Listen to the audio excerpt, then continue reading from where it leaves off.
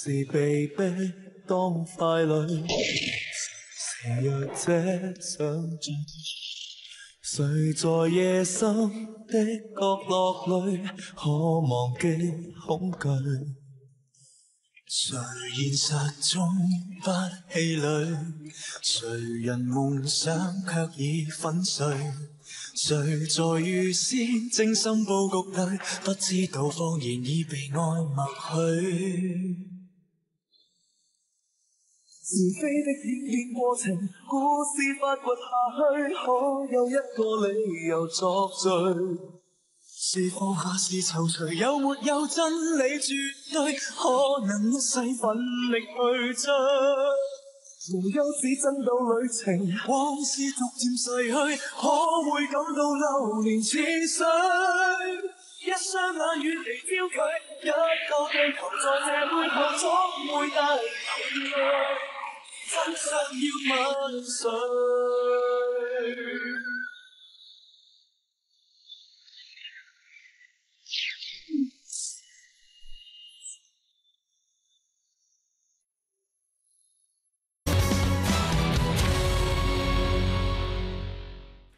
Nếu như ông gia cảm thấy tôi không nên đã lại giật danh hiền Thì có thể trực tiếp nói với tôi.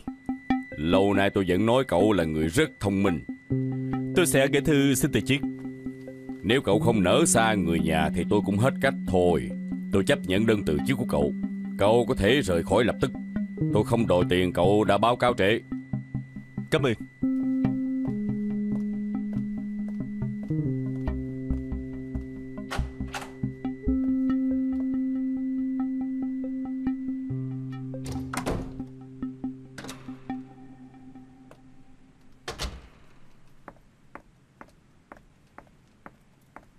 Chủ, nếu như DNA đã xác thực được Tư Đồ Thuấn và Trịnh Lực Hành thật sự là anh em sinh đôi với nhau, vậy cũng có nghĩa là Trịnh Lực Hành là người đang trộm sợi dây cực quan chi tinh. Sao lại không một lần đuổi hết hai người họ đi? Chia rẽ tụi nó đã đủ rồi. Tư Độ trước đây là cảnh sát Lại có lòng chính nghĩa. Để hắn ở đây sẽ bất lợi đối với mình. Lực hành thì khác. Một ngày ăn trộm thì suốt đời ăn trộm. Nếu đã là người chung ngành Thì hắn chưa chắc không thể bàn bạc với chúng ta.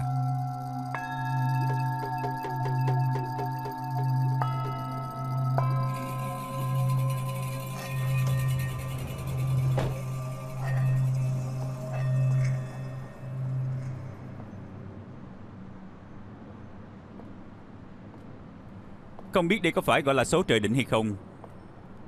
Ý tưởng của anh Phi đó vẫn không đuổi anh đi được. Rốt cuộc thì anh vẫn không ở lại đây. Thực ra có lại đây hay không Đối với anh mà nói không sao cả. Anh chỉ là cảm thấy lo lắng cho em. Anh không cần phải lo lắng cho em. Tự em sẽ cẩn thận mà. Hàng thần Giúp Giang Hội Hải làm việc. Bọn họ đã nghi ngờ anh.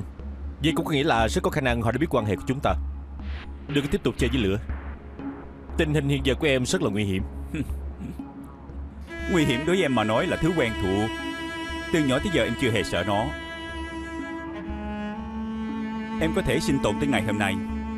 Ngoại trừ may mắn ra, Đó chính là cái mạng của em đủ lớn.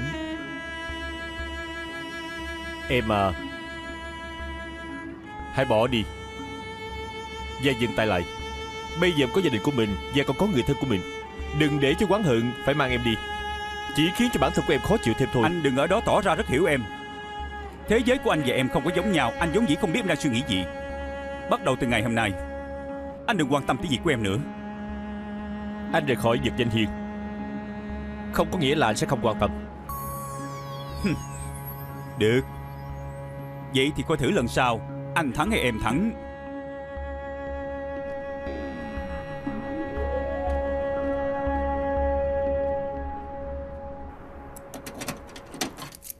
Ê, về rồi à? Con về tới Wow, sao khiêng nhiều đồ vậy? Anh hai Sao rồi Không níu kéo được à Hả? Có chuyện gì? Phải, Cũng tại con không tốt Em xin lỗi Khiến cho anh bị đuổi việc Sao con lại bị người ta đuổi việc vậy? nè, Út à, con đã làm gì? Khiến cho anh hai mất luôn công việc. Thiệt ra trước đây bởi vì con có chuyện không được vui đã làm sai Ảnh hưởng tới danh tiếng của vật danh hiền Anh hai con đã giúp con gánh vác chuyện này Con nghĩ là ông Giang sẽ niệm tình ảnh Ở công ty có chút công lao. Thì con người công giang rất để tâm tới vấn đề nguyên tắc. Không có sao hết. Dù gì làm ở đây cũng hơi chán. Con muốn thay đổi hoàn cảnh chút. Ồ thì ra là vậy. Anh hai giúp em trai là chuyện đương nhiên. Con không cần phải để trong lòng. Đúng, học lực của thằng Tuấn tốt hơn, kinh nghiệm nhiều, kiếm công việc đâu có khó hờ. Con đừng để ở trong lòng. Anh hai, anh không trách em chứ? Sao lại trách em chứ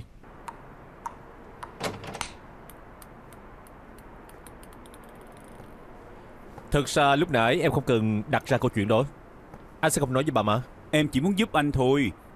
Thuận tiện kiếm một lý do, bà má không cần lo lắng cho anh, lại cảm thấy anh vĩ đại, không phải tốt hay sao? Chúng ta khó khăn lắm mới có thể có gia đình đoàn tụ Ba má lại thương em như vậy Tại sao em cứ nhất định là muốn suy nghĩ lại những chuyện trước đây Thương anh nhiều hơn. Em đừng có suy nghĩ như vậy được không Đây là sự thật mà. Nếu như anh em mình rớt xuống nước, anh đoán thử coi bà má cứu ai đây. Mọi người sống chung với nhau mấy chục năm, còn em mới chỉ có mười mấy bữa. Ba má đã nhớ nhung em suốt ba mươi mấy năm Họ sớm đã coi em chết rồi mà.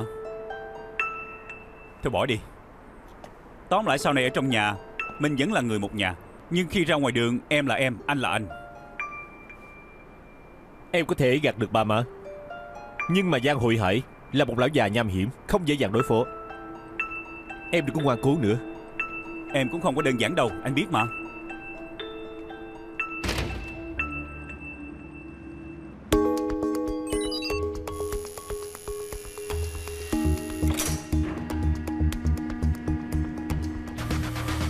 Ngồi đi. Dạ, Thế nào? Có cần uống ly nước không? Không cần đâu ông Giang. Tôi đang làm việc mà. Tôi đánh giá rất cao những người như cậu. Cậu và Tư Đồ Thuân Thật sự rất giống nhau. Nếu ông Giang quen biết với tôi lâu hơn một chút, ông biết chắc là tôi với Tiêu Đồ không có giống nhau. Ừm, Tôi muốn cậu 100% trung thành với tôi. Ông yên tâm đi ông Giang, tôi không để cho ông thất vọng. Tuy mắt tôi không thể nhìn thấy Nhưng mà tôi biết cậu là một nhân tài Tôi dẫn cậu vào đây Tôi mong là cậu hiểu được Tôi rất coi trọng cậu Cảm ơn ông Giang. Tôi muốn cậu làm đội trưởng bảo vệ Nhưng tôi vô vật danh hiền chưa được bao lâu mà. Ê, Tài năng luôn thắng tuổi tác Cảm ơn ông Giang đã cho tôi cơ hội này. Thư ký của ông Hồ nói là năm nay đã đổi địa điểm, chính là căn nhà phía trước. Mỗi năm đều cùng một địa điểm Tại sao lần này lại đổi chỗ Thư ký của ổng không có giải thích với tôi.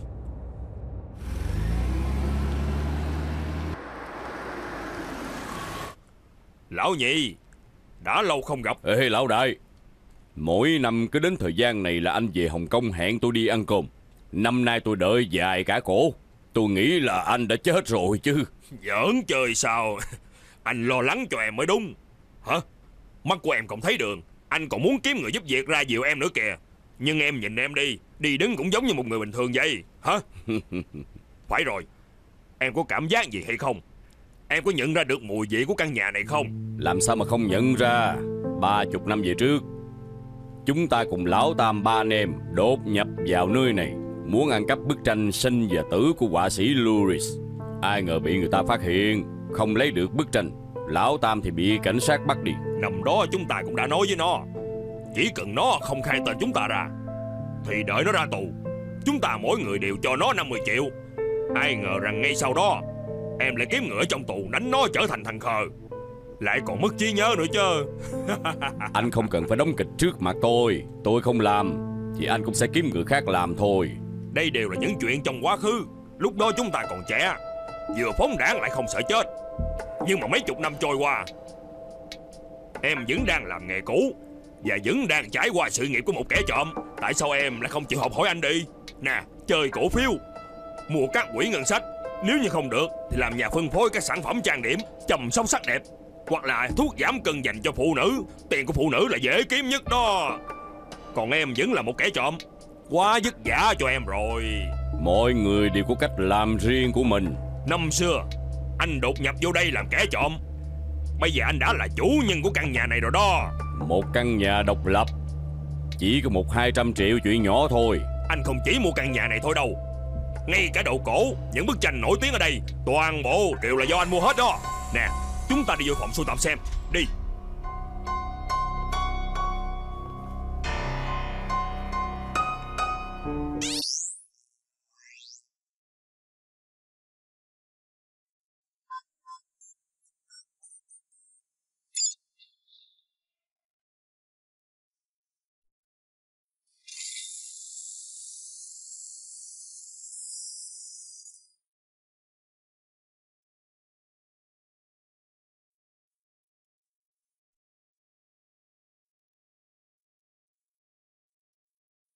Nhớ lại năm đó, Chúng ta ngoại trừ gì tiền ra.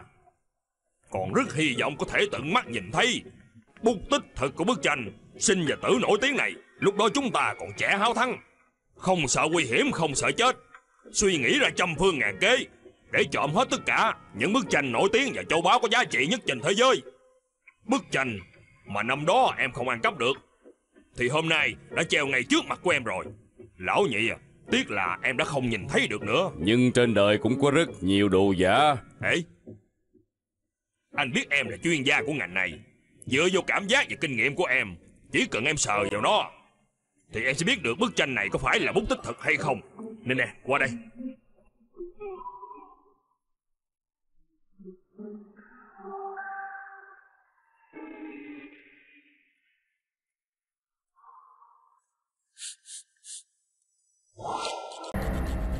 Đúng là tranh sinh tử của Luris Anh thiệt có được bức tranh này à?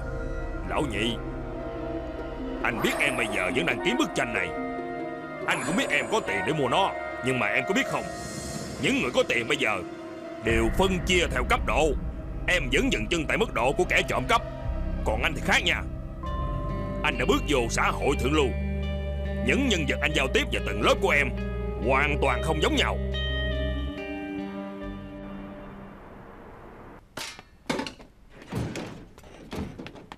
Cảm ơn ông chủ nhiều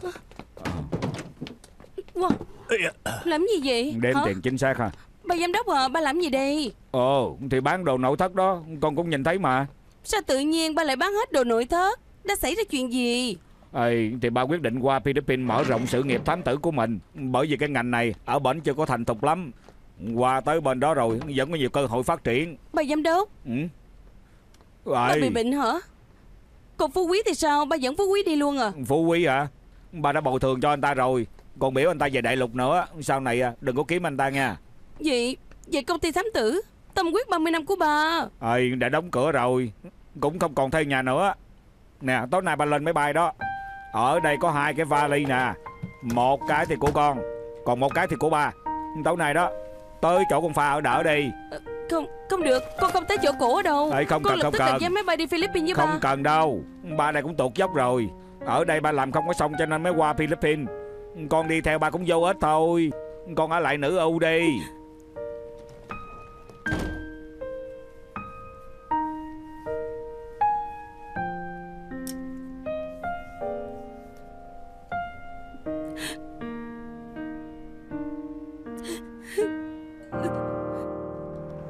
Alo Pha à Tối nay tôi có thể tới nhà cô không?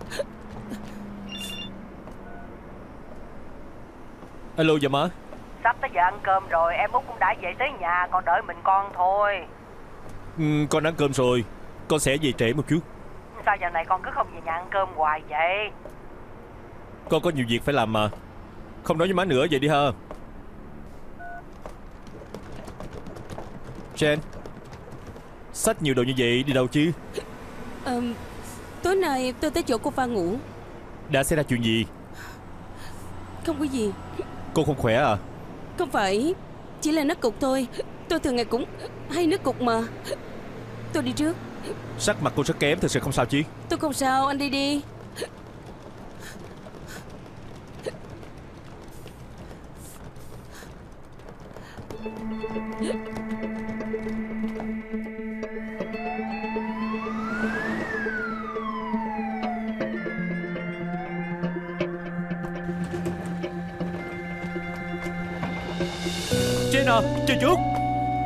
Làm ơn Chờ chút. Nè chờ chút.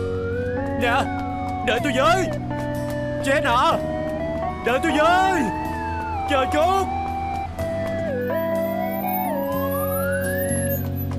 Nè Làm ơn Mở cửa đi làm ơn Mở cửa ra Chúng tôi lên xe. Chuyện gì? Cô là bạn của tôi Cô tên là Ngô Trân Ni Làm phiền. Jen à Jen Cô không sao chứ? Ngồi xuống trước đi. Ờ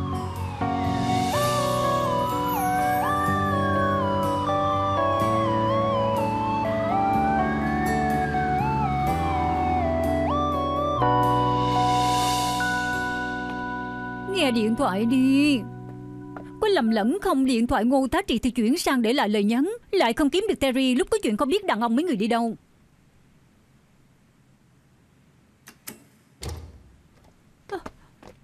Bác sĩ Cô thế nào? Hai người yên tâm. Tình trạng bệnh nhân ổn định rồi. Phẫu thuật rất là thành công.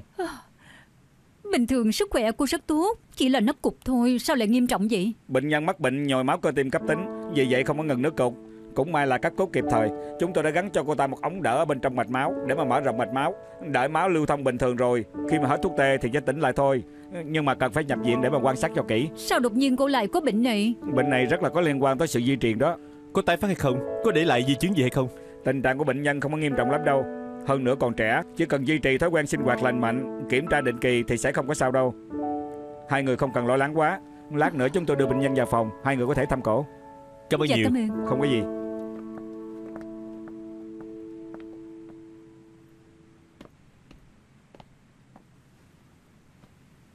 nghe anh nhân viên cứu thương nói anh rất can đảm. Không ngừng đuổi theo chiếc xe cấp cứu Lại còn ngang nhiên đòi lên xe. À, Anh đừng có suốt ngày không lên tiếng. Anh rõ ràng rất quan tâm cô Jen Rõ ràng có tình cảm cổ. Sao cổ tỏ tình với anh anh lại từ chối? Đây là chuyện riêng của tôi. Tôi không cần giải thích với cô. Cô đã hết chuyện. Tôi đi đây. Dạ anh không lên đó thăm cổ sao? Rõ ràng thích người ta nhưng sao lại trốn tránh Anh có phải đàn ông hay không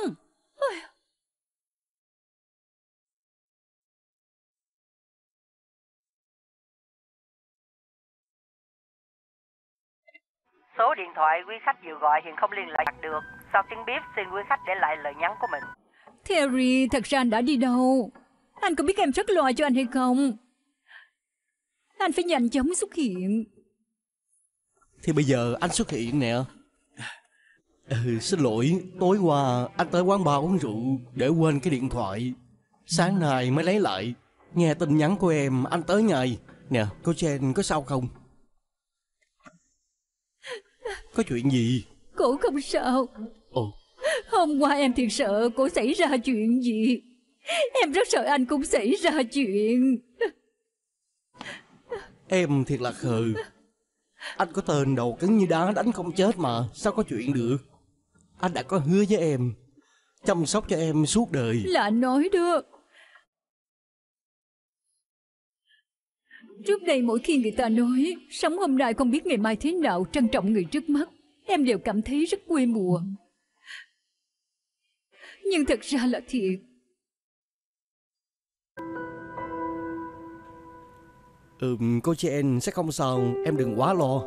Em có nhớ cuộc hẹn hôm nay không? Thôi chết em không nhớ gì hết. Suốt đêm qua em ngủ ở tại bệnh viện Chưa về thay quần áo. Hôm nay lần đầu tiên tới gặp bà ngoại anh Em ăn mặc như vậy Bà nhất định không thích Không đâu Bà ngoại sẽ thương em Tin anh đi Hay da, Pha đúng là vừa ngoan vừa giỏi. Lần đầu tiên tới nhà bà ngoại đã giúp bà nấu cơm rồi. Ngay cả rau cũng không cần bà lặt nữa. Phải nên như vậy mà bà Từ cháu tới làm phiền bà Không lẽ muốn để cho bà phục vụ à Ây da, cái thằng quỷ cháu chỉ biết ăn thôi. Bình thường không giúp bà ngoại cũng bỏ đi. Bạn gái mà cháu cũng không chịu giúp. Cháu có lộn hay không hả? Giúp chứ Con đang giúp ăn hết thức ăn nè Dạ dùng đũa đi Giờ quá Ê, nè cháu cũng vất vả rồi. Ăn cơm, ăn cơm đi hả? Dạ được Dạ mời bà ăn tôm Tôm hôm nay rất là tươi Ờ ngoan ngoan. Ồ bà ngoại có tôm để ăn Anh ăn cái gì Thì gấp cho anh nha À, bà có đồ đưa cho hai cháu. Ăn cơm trước đã Cái gì vậy ngoại Nè nè nè nè. Nè, Ngoại đưa tụi con hình để làm gì ngoại không còn sống được bao lâu nữa. Ờ, bà hy vọng hai đứa ghi nhớ bà. Nhớ bà nha. Nhất định sẽ nhớ ngoại À, Còn nữa à Ăn cơm xong mới nói tiếp mà Hey, người già cả rồi đúng là vô dụng. Đó, chỉ mới hôm trước thôi. Xưa ngày cột sống của bà đau tới nỗi đứng không vững luôn. Bà không sao chứ Nên bà đã đi kiểm tra. Bạn không biết bà mọc nhiều gai cột sống như vậy. Hôm trước Sao cháu không biết Ý giờ, cháu suốt ngày đều không có ở nhà, đương nhiên là không biết. Nè, khoảng thời gian trước thôi, bác Trần kế bên nhà cũng mọc gai cột sống. Đi tắm được chút xíu thì té xuống đất. Té trúng ngay phía sau đầu Mém chút là mất mạng rồi. Bà sợ rất có khả năng người tiếp theo sẽ là bà. Đương nhiên là không, đâu có tới phiên ngoại. Ngoại còn trẻ, sinh những năm 70 Không có sao đâu. Ngoại không phải sợ chết. Nhưng mà bà không muốn mang theo sự nuối tiếc xuống quan tài. Bà sợ ngày hôm sau bất cứ lúc nào cũng không thức dậy được. Thì không ai chăm sóc cho thằng quỷ này Không có ai giúp nó giặt quần lót. Cũng không có ai nấu cơm cho nó ăn. Cháu à Ừ. Cháu có thể hứa với bà Giúp bà chăm sóc cho nó Coi chừng nó được không? Bà ngoại đừng có nói lung tung nữa. Bà ngoại bà cứ yên tâm. Cháu nhất định sẽ giúp bà chăm sóc cho ảnh. Vậy Vậy là cháu chịu lấy nó rồi đúng không? Gã cái gì, ngoại đang nói cái gì vậy Cháu chịu lấy. Thì cũng phải có người chịu lấy mới được chứ. Y da Có nghe rõ chưa thằng quỷ Còn không mau có phản ứng gì đi. Ngoại đừng có ép cổ mà.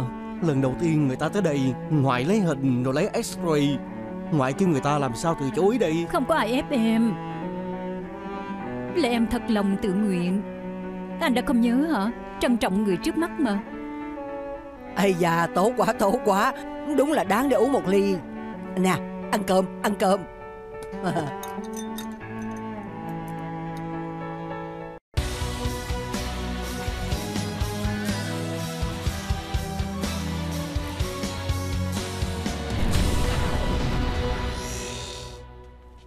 Ngồi xuống Ngoại nói cho cháu biết hình x-ray thật hay là giả. Đương nhiên là giả rồi. Bà hỏi mượn bác trần kế bên nhà đó Ý da Nếu như bà không nói vậy á Làm sao có thể dỗ ngọt được bạn gái của cháu? Bà Mai là bà đây Lần này đúng là bà Mai mối thật rồi. Lần sau đóng kịch cho cháu biết một tiếng đi Người ta là con gái nhà giàu Cháu là kẻ trộm Làm sao xứng với người ta? Cho nên mới nói Cháu phải vì cổ mà càng ngày nên trưởng thành chút. Ây da Lòng à Có tiền hay không á không phải là điều quan trọng. Điều quan trọng nhất Là bà nhìn ra được cổ thật lòng với cháu. Hồi nãy bà hỏi cổ có chịu lấy cháu không? Cổ đâu có do dự. Cổ chỉ sợ cháu không lấy cổ thôi. Cổ đối xử với cháu tốt vậy Cháu không cảm động sao? Cháu rất cảm động Cháu cũng rất thích cổ.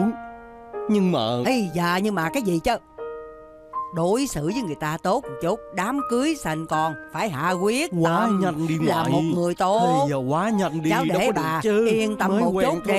Hai hả? bà cháu nói chuyện gì vui vẻ quá vậy? Lưng của bà À, có sao không? à, à, Bà kêu thằng Long đưa cháu về nhà thôi á mà. Ừ em đi được chưa? Đi được rồi.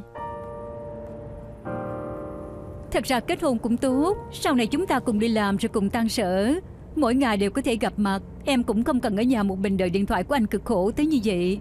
À Chúng ta có thể đón bà ngoại tới ở chung luôn. Nhưng mà trước khi ký tên thì phải về Canada gặp ba má của em trước đã.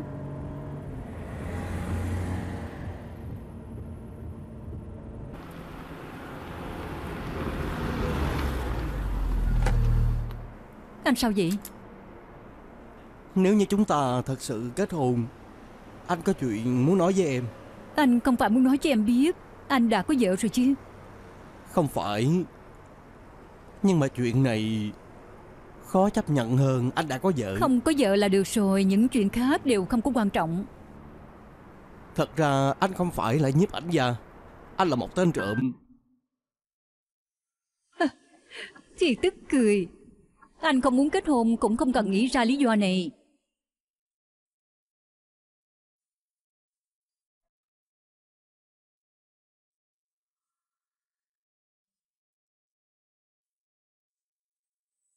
Ngự hoàng đài Phượng hoàng đài Đô ngạn hiên Toàn bộ đều là do anh ăn cắp Tin tức nói cái tên trộm đột nhập biệt thự Chính là anh. Đừng lấy chuyện này ra nói giỡn. Lần đầu tiên em gặp anh rõ ràng là Lúc đó anh coi tình hình Quan sát căn biệt thự. Nhiếp ảnh gia là giả Nhưng em đã thu hút anh là sự thật. Vậy còn chuyện gì là giả nữa Luân Thái Lân là giả. Đới Phú Long mới là tên thật của anh. Chuyên ăn cắp để mưu sinh. Em không tin có thể hỏi bà ngoại. Tại sao? Tại sao anh phải nói cho em biết? Anh có thể lựa chọn không nói mà. Bởi vì anh thật sự thích em. Anh thật lòng đối với em. Nếu như sau này chúng ta kết hôn Anh không muốn phải gạt em. Em nghĩ em cần bình tĩnh một chút Em à Pha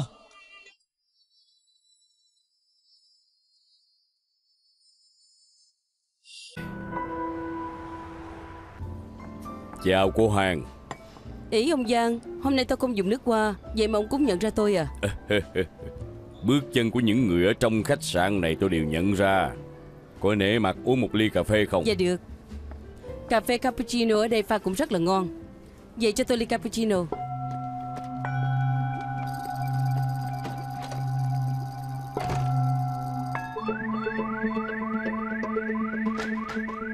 Xảy ra chuyện ở đâu vậy? Lầu 44 Là phòng của cô Hàng Có cần báo cho cô biết không? Ê, đương nhiên là thông báo với đội cứu hỏa trước rồi. Không cần đâu. Cô Hàng với ông Giang đang nói chuyện. Đừng có làm phiền tới hai người họ. Anh Phi lấy bình chữa lửa đi theo tôi. Wow. Ở đây nè. Mở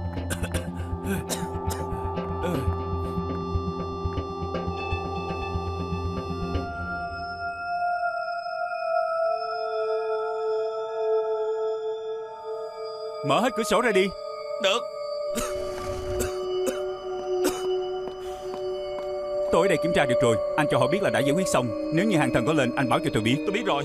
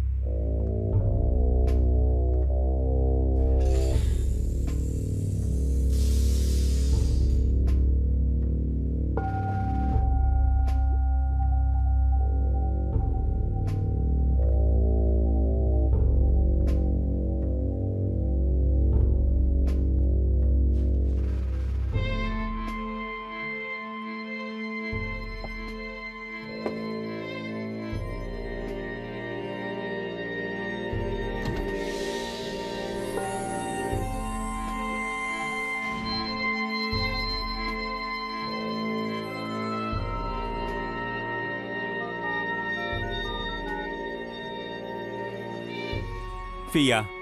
Có phải là hàng thần với ông Giang vẫn còn ở quán cà phê hay không? Phải. Giúp tôi giữ chân họ lại. Tại sao vậy? Bây giờ tôi không hỏi anh tại sao. Tôi muốn anh trả lời có được hay không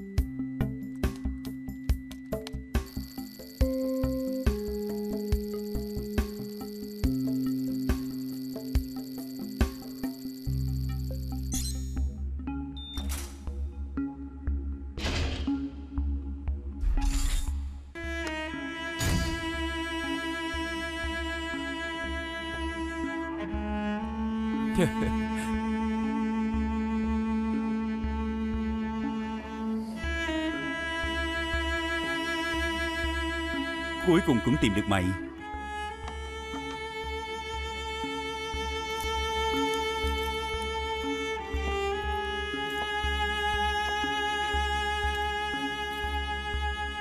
Là giả.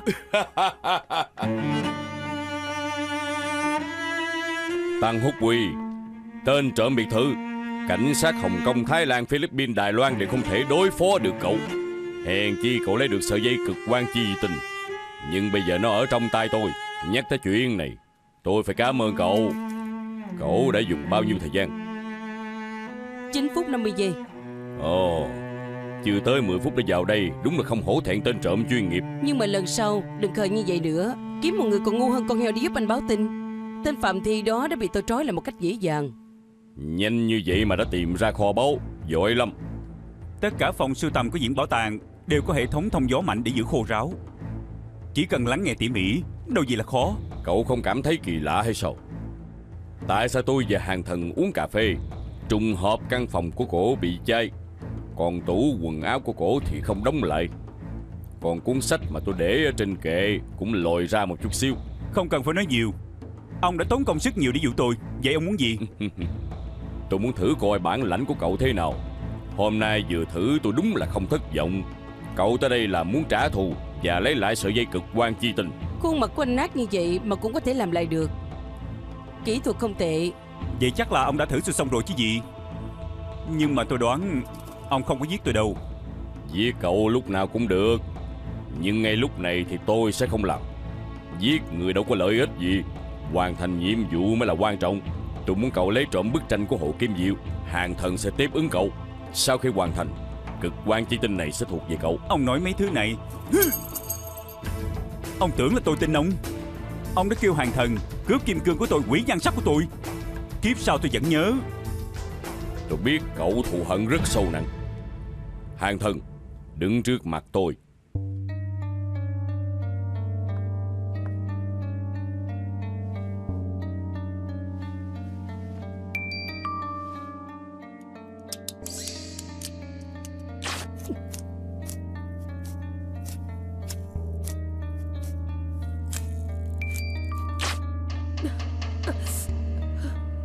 thần đã hủy hoại gương mặt của cậu Cho nên cậu căm hận. Bây giờ gương mặt của cổ cả đời sẽ để lại một vết sẹo Coi như là quề Không ai nợ ai. Hàng thần Cô thấy thế nào? Không sao. Vậy còn cậu Tôi suy nghĩ lại. Được Tôi đợi cậu trả lời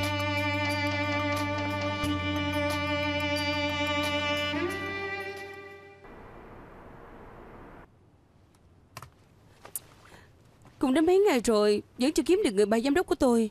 Không biết ông có đi tới Philippines không ha Cô đoán coi ông có xảy ra chuyện gì không hả? Dù sao ba của cô cũng đã làm thám tử mấy chục năm trời. Làm sao mà dễ dàng có chuyện? Nếu thiệt có chuyện thì cảnh sát cũng tới kiếm cô rồi. Vậy cũng phải. Nè Cô làm gì vậy? Mấy hôm nay thấy cô không có tinh thần gì hết Cô không được vui à? Ờm, Không có. Thức khuya mấy đêm liền để làm việc nên hơi mệt. À đúng Cái hôm mà cô nhập viện là xếp tư đồ đưa cô vô đây. Vẻ mặt của ảnh hình như rất lo lắng. Tôi biết. Ở trên xe cấp cứu Tôi cũng đã nhìn thấy mặt ảnh. Tôi thì không hiểu nổi. Rõ ràng quan tâm cô như vậy Sao đã nhiều ngày mà không tới thăm cô? Tôi không biết. Tôi có gửi tin nhắn cho ảnh rồi. Ảnh biết hôm nay tôi về mà. Nhưng tôi không biết ảnh có tới hay không nữa. Chuyện tình cảm. Thật sự rất là phiền phức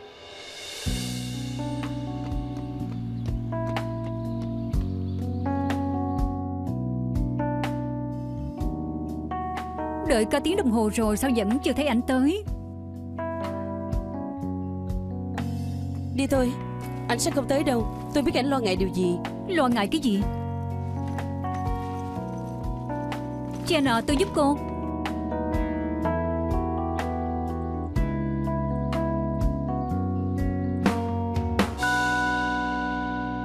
Trên đường từ ở nhà thương về tới nhà Cô đã nhìn vô điện thoại nhìn hết 63 lần rồi đó? Cô đừng phủ nhận nha. Cô không gạt được tôi đâu. Rốt cuộc có chuyện gì? Không lẽ thân như vậy cũng không thể nói được sao? Không phải. Tôi phát hiện Terry Có một chuyện đã giấu tôi rất lâu. Nhưng mà mấy ngày trước ảnh lại nói thẳng.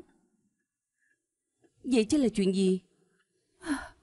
Tóm lại trong lòng tôi rất là rối loạn. Tôi không biết là mình có thể chấp nhận được hay không Cho nên mấy hôm nào tôi không gặp ảnh. Cho nên cô rất Rất là nhớ ảnh nè. Hử? Ừm, Tôi rất nhớ ảnh. Mấy hôm nào tôi không gặp ảnh. Tôi cảm thấy bản thân mình hình như thiếu cái gì đó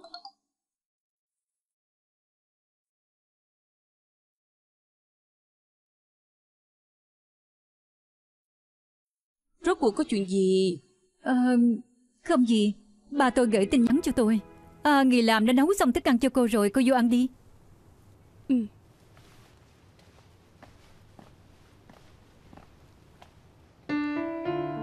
Phờ Để chứng minh anh không lừa dối em Anh đem tất cả hình ảnh trước đây Ăn cắp được Gửi hết cho em Anh hứa với em Anh sẽ không ăn trộm nữa Sợi dây chuyền này Đúng ra anh ăn cắp để tặng cho người mà anh yêu nhất.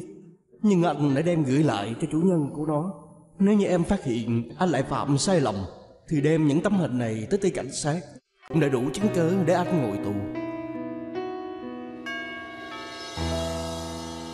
Để tôi mở.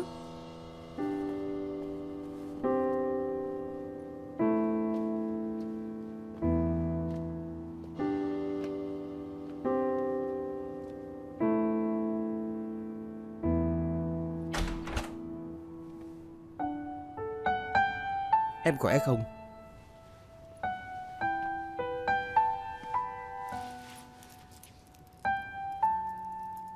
Dây chuyền này tuy chỉ đáng giá 2.300 đồng. Nhưng mà nó được mua bằng tiền lao động mấy ngày qua Anh đi giao hàng và rửa chén. Bởi vì anh muốn chứng minh với em. Vì em. Anh cố gắng sửa sai và sống cho tốt. Anh sẽ dùng khả năng của mình để cho em hạnh phúc. Anh xin lỗi Em tin anh thêm một lần Cho anh thêm một cơ hội Không biết tại sao Mấy hôm nay không gặp em, Anh như là thiếu cái gì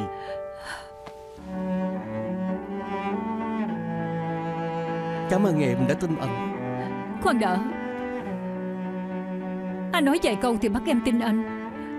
Em làm sao biết có phải anh dỗ ngọt em không? Nhưng mà trước giờ tình yêu đều không có gì để bảo đảm. Có rất nhiều chuyện nói thay đổi là thay đổi. Nếu thiệt lòng yêu thương nhau thì phải có dũng khí. Em thật sự rất thương anh. Dù sau này xảy ra chuyện gì cũng được, em cũng sẽ có dũng khí để thách thức nó.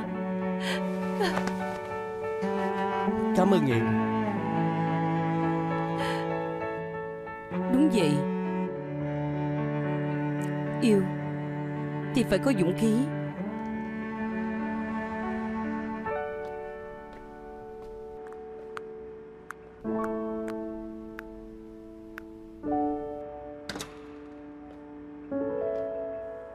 Thuấn,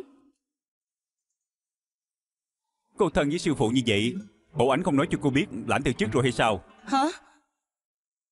Cô có gì muốn đưa cho ảnh Thì tới nhà mà đưa cho ảnh đi Thiệt xin lỗi đã làm phiền anh.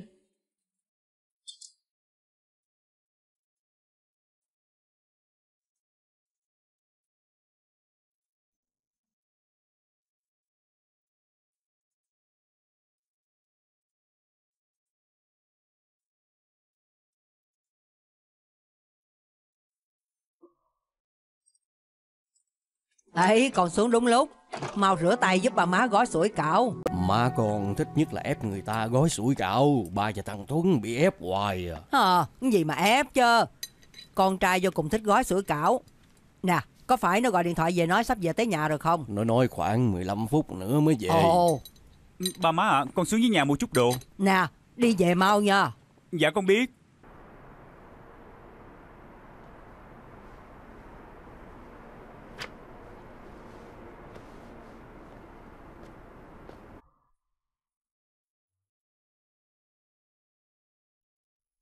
Thiệt là không ngờ cô ở đây đợi ảnh Không cần đợi nữa Ảnh qua Đài Loan chơi rồi Thứ hai tuần sau mới về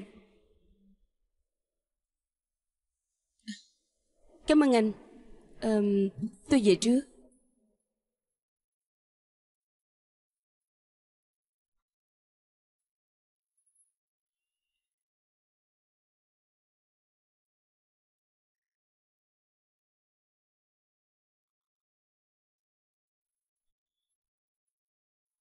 Cổ đã cố tình đợi anh. Không có tình cảm với nhau của bộ khó tình đó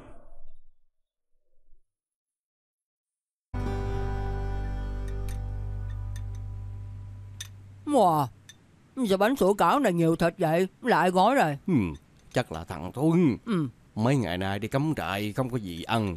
Cái nào cũng toàn thịt tôi cũng vậy nè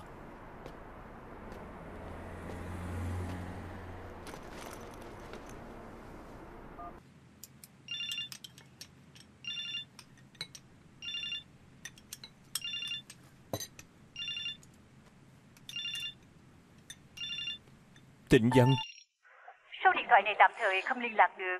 Sau tiếng bíp, vui lòng để lại lời nhắn.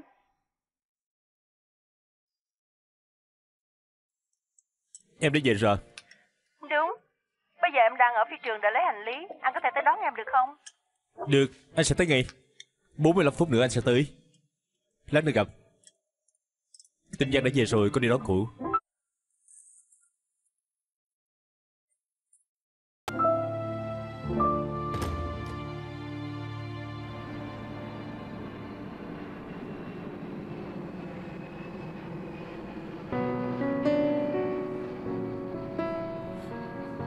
Em nhớ anh đã từng nói với em Nếu như mỗi lần em muốn khóc Thì nhìn lên bầu trời góc 45 độ Nước mắt sẽ không rơi xuống được.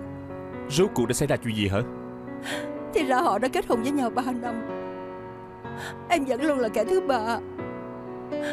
Hôm trước vợ của anh gọi điện thoại cho em. Em mới phát hiện ảnh Vẫn đang lừa dối em. Em thiệt là ngốc Nghĩ là ảnh là người đàn ông tốt Nghĩ ảnh là bác sĩ. Thì sẽ không có lừa dối tình yêu. Tại sao có đời em đều phải thất bại như vậy? Tại sao những người đàn ông em kiếm đều không đối xử tốt với em? Tại sao em kiếm không được một người đối xử tốt với em như anh vậy?